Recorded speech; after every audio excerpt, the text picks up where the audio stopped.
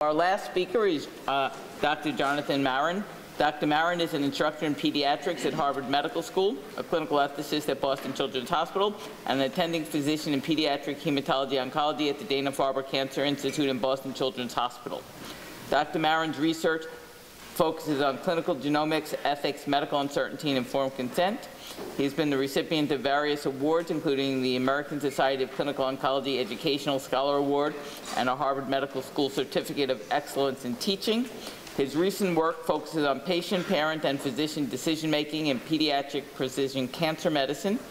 Before going to Boston, Dr. Marron was a um, both a MacLean Fellow, but he also spent a year working with Mark as one of his research assistants. And today he's going to give a talk titled Ethics and Communication in the Precision Medicine Era in Pediatric Oncology. Please join me in welcoming back Dr. Marron.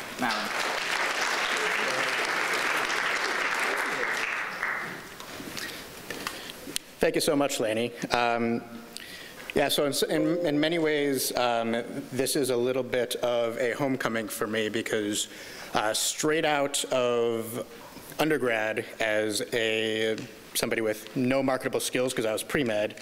Uh, I didn't know what I wanted to do with a year off before going to medical school, so I came in, worked for Mark as his research assistant. Um, Mark worked me into the ground as he, as he is wont to do. Um, but it made it very clear uh, for me, even more than it had been before, how exciting the world of clinical ethics is. Uh, I went on to, uh, to medical school and did my residency in pediatrics uh, before coming back, as Lainie said, to be a fellow here. Uh, and then I've gone off to Boston, where I now get to be faculty at a, another ethics center someplace on the East Coast. So it's wonderful to be back with all of colleagues and mentors and uh, professors that I've had in the past.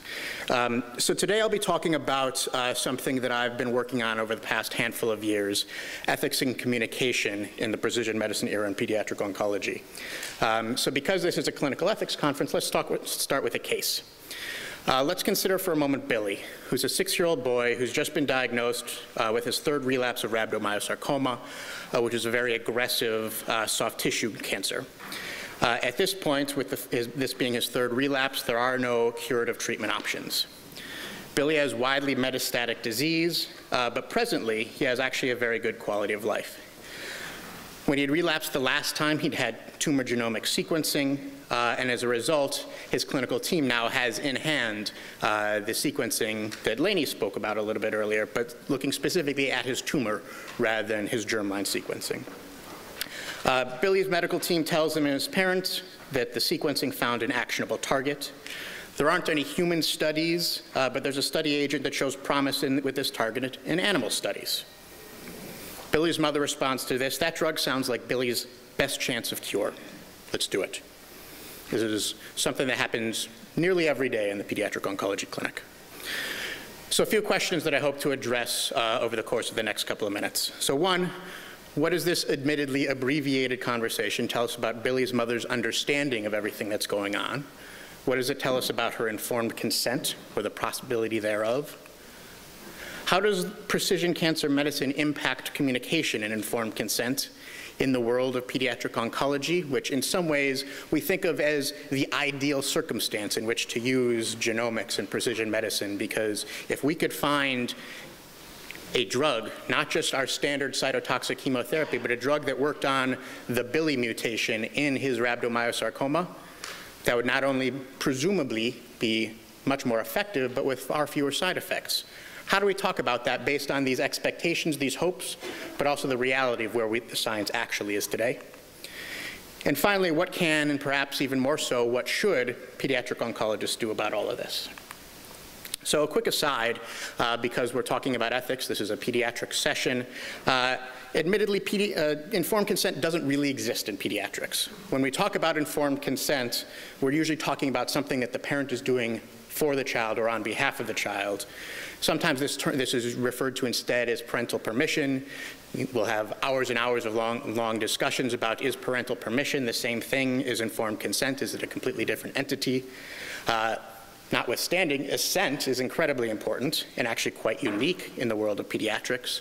But for the sake of discussion for these next 15 minutes or so, I'll be using the term informed consent uh, to refer to sort of an agreed upon decision between the child uh, and the parents, though, as the pediatricians in the room know, unfortunately, that is not always the case, and that's when things really get sticky. So uh, Beauchamp and Childress put forth the, uh, the, the, idea that there's seven individual pieces of informed consent. And these can bro be broken down to three larger elements. The threshold elements or preconditions, the information elements, and finally the consent elements. The era of precision medicine and the complexities therein really hit on each of these different pieces. So speaking to capacity and voluntariness, uh, the patients who are, being, who are considering precision medicine in the pediatric oncology setting are extremely vulnerable. These are ones who haven't responded to standard treatments. Uh, I hear often in the clinic parents saying, what else can I do? Though it's not coercive per se, it certainly is a situation in which there, is a, there are large questions about vulnerability, and us perhaps acting upon that vulnerability and perhaps not being able to make fully informed decisions by the parents. In the, in the second era, area, in the inform, information elements, disclosure, recommendation, and understanding, hugely often we will see ma massive amounts of miscommunication, of misunderstanding, of blurred lines between what is research, what is clinical care, what is a little bit of both of those. And I'll get into each of those things in just a couple of moments. And finally, when we think about the actual consent elements, decision and authorization, far too often in this hurried situation of a patient's cancer having come back, we want to do something now, we want to do something right this instant, or else we can't do anything. We'll hear things like, just sign here, please, which for everybody in this room knows that is not informed consent by any stretch of the imagination. A, uh, an oncologist that I work with in Boston, uh, who will remain nameless, has told me time and time again when I talk about the work that I do, patients and parents just don't get it. Informed consent in oncology is unattainable. Well, there probably are nuggets of truth in this, and I'll get to some of the data in a, in a moment that at least in part support this. I hope that this is at least a little bit of a cynical and exaggerated look at the actual reality of things. Uh, former MacLean Fellow Rick Kodish, uh, 15 years or so ago, did demonstrate some of the data that informs this statement in oncology clinical trials. Uh, Rick and his team demonstrated that exactly half of patients, uh, excuse me, parents of children with leukemia don't understand randomization at the time they're considering enrolling their child onto an actual randomized controlled trial. So really understanding the fundamental piece of what they're about to be engaged in was, was lacking. Furthermore, in phase one trials, so the earliest of early phase clinical trials, only 32%, under a third of parents, demonstrated what was defined as substantial understanding of the trial's scientific purpose. And 35%, actually a greater percent, demonstrated little or no understanding of that concept. So clearly, there is some lack of understanding, some mis misinformation about these very important and fundamental concepts in the world of clinical oncology research. Now in the era of precision medicine, not, perhaps not surprisingly, we're seeing similar data emerge. Uh, in a study that we did a couple of years ago, we found that over half, 59%, of parents and young adult patients who underwent tumor sequencing as part of a clinical trial hoped that doing so would increase their their ch child's chance of cure. This in the setting of the fact that they were told very explicitly the goal of this as research is to learn information that we can use going forward, not to help your child or to help you. Nearly three quarters hoped that it would provide a greater number of treatment options, though when this was all done, the likelihood of that was actually quite slim. Furthermore, 32%, nearly a third, stated that the main purpose of the tumor sequencing study, again, a research study that was intended to find data going forward, not to help the people enrolled in it, was to improve, improve treatment of themselves or their child, and nearly one in five stated that the most likely result of their participation was an increased chance of cure nearly one in five. We still don't know exactly what the, what the true answer to that question would have been, but probably less than one-tenth of that one in five. So why might this be? Why might there be this huge discrepancy between what we can provide, what is thought, we, what is thought that we can provide, and the communication between those two? So let's come back to our case with Billy. Billy's team told him and his parents that sequencing found an actionable target. And in response to this, Mom says, this sounds like Billy's best chance of cure. Well, this speaks a little bit to some of the outcomes that we use in general medicine, but particularly in the world of oncology. What outcomes are the ones that we look for, and what are the outcomes that matter? When we do sequencing studies that are happening all day, every day these days, we're looking, oftentimes these, these report rates of actionable results. But actionable can mean a, one of a variety of things. It certainly can mean we find a mutation that we have a drug for, that drug can hit that mutation and cure that cancer, but that's incredibly infrequent. Much more commonly, it's something about a nuance of the diagnosis, something about a cancer predisposition syndrome, something about a purely, a completely unrelated uh, finding alluding to some of the uh, ACMG uh, uh, pieces that Lainie talked about a little bit earlier. Perhaps not surprisingly, then we see these relatively often. So actionable or potentially actionable results, depending on which study you look at, happen, are found between 39 and 78% of cases. That sounds awesome. And that's why these papers end up in places like JAMA, JAMA Oncology, uh, New England Journal, things like that. These are really exciting numbers. However, the likelihood of direct clinical benefit by re via receipt of a targeted therapy appears to be far, far less often. As best as we can tell right now, this is actually only in 3 to 19 percent. So this is the situation in which we find a mutation in the cancer, that there's a drug that acts on that mutation, and we may see some effect on the child's cancer. The rate of cure, so survival due explicitly to the genomically targeted therapy, we have no idea how often that takes place, but it's certainly even less than this 3 to 19 percent number. Without a doubt, each of these different types of outcomes are incredibly important. But even more important is being clear. When we as the physicians talk about the outcome that we're looking for, is that the outcome that's being desired by the parent? Is that the, uh, the outcome that's expected when we talk about doing sequencing? At the risk of coming off as a complete skeptic about this, we are seeing really exciting steps moving forward. Uh, imatinib, Gleevec, uh, a decade or so ago, was one of the first drugs that was really showing that genomics and the application of genomics into cancer medicine was really exciting and really a, po great possibility for benefit.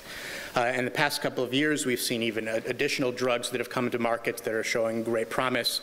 Uh, larotrectinib, uh, that you see up here on the left, uh, was published in the New England Journal, is a really promising drug that's we're seeing uh, benefits in children. and on the right, uh, you see one of these really impressive changes in an MRI uh, for a, a, new drug in a pontine glioma that previously, prior to this experimental therapy, had really no treatments available. So we're seeing these new exciting steps forward. However, these still are exceptions rather than the rule, and we have to be very careful when we're talking to patients, when we're talking to families, that we don't leave them expecting that this is what's going to happen in the majority of cases because these still are, uh, unfortunately, few and far between. So let's come back to Billy one more time. Billy's medical team tells him about the agent and says that there are, there's promise with this target in animal studies. So clearly, the animal is not the, is not the patient in this situation, but we often have these preclinical data, and the question remains, what do we do with this? It'd be remiss in 2019 to talk about communication and not to mention something about social media. Um, about six months ago on Twitter, there's an account that started called Just Says in Mice.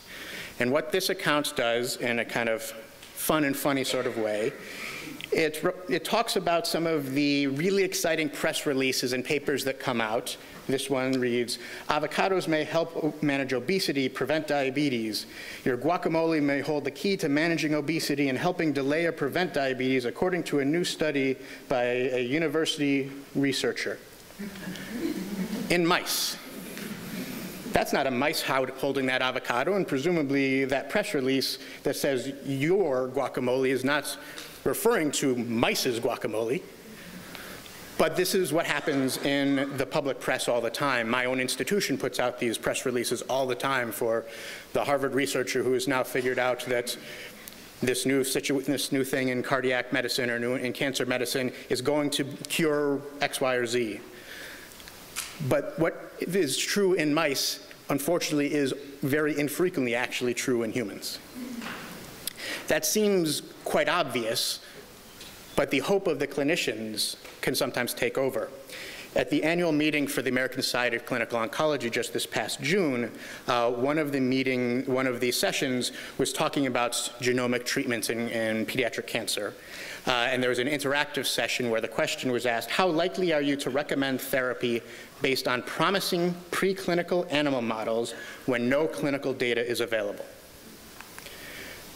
Nearly 50% of the pediatric oncologists in the room said either they were likely or fairly likely to do this in the absence of any clinical data.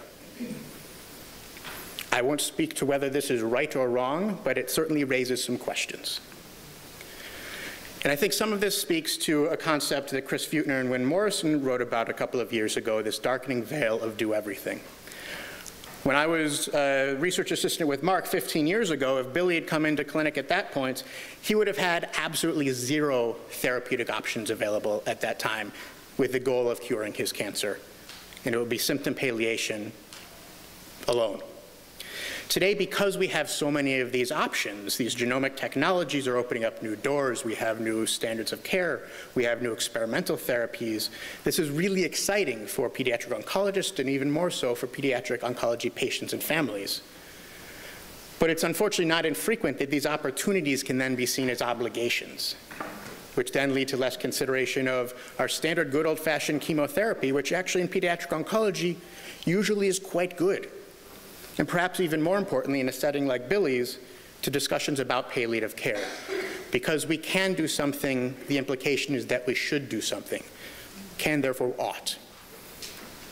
But I think sometimes we need to be a little bit more thoughtful about whether we indeed, indeed we do want to be doing everything.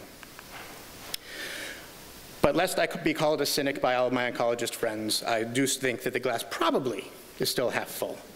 So some of the research that my team has done over the past handful of years demonstrated that over two-thirds of of participants in clinical genomic sequencing studies in oncology demonstrate at least a basic understanding of the primary purpose of genomic sequencing trials. So this referencing back to some of Rick's data from uh, a decade ago. And interestingly, among those who state that the primary purpose was to improve their or their child's care, so those who at least have some degree of misunderstanding, Nearly all also identified that the, its aim was to benefit future patients. And 93% also correctly recognize that their, their child might not have directly benefited from participating.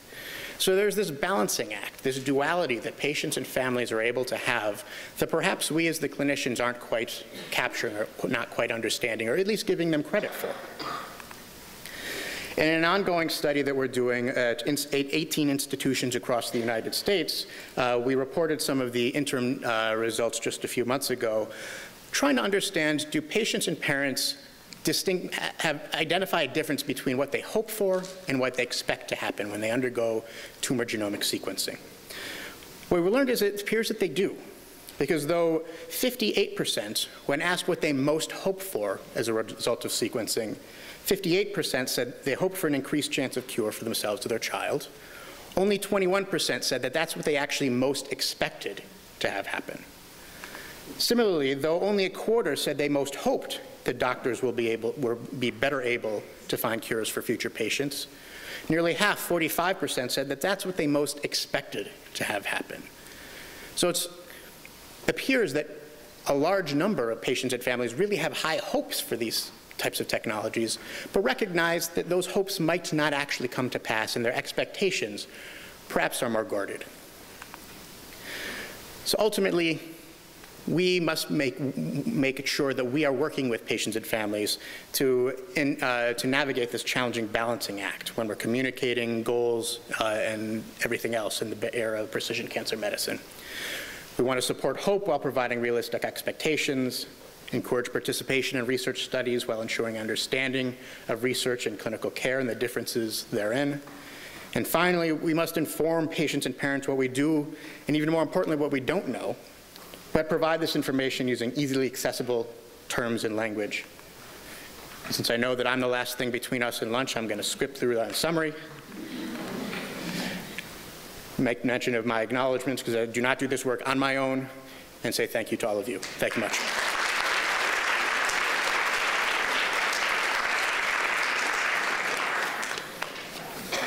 Questions? I guess they're hungry. Thank you very much. Just a reminder, as we finish this session, um, lunch is in the South Green. Um, And just because it is a school day and so the law students will be there, we're expected to come back at 2 o'clock, so a little bit over an hour. And thank you all very much.